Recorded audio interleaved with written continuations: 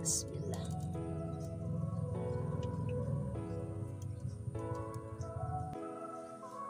Bismillah. Yan yung garlic na binilad ko sa ara. Lalagyan po natin ng sili, mga best. Mm.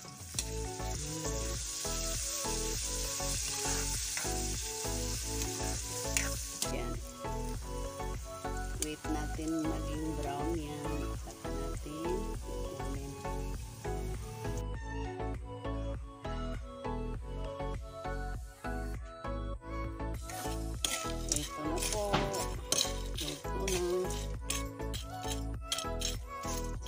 Ko pong lakihan yung slice na.